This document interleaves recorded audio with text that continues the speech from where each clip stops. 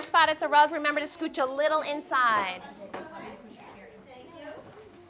Rectangle group. When your papers are in your cubby, come on over to the rug. Put that away.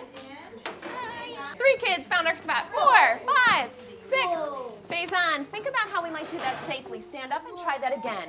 Stand up and try that again. Thank you. So instead of climbing and crawling over Manny, what could you do? I tripped over him. Okay. So think about how you might go over to that rug in a very self careful way. Thank you.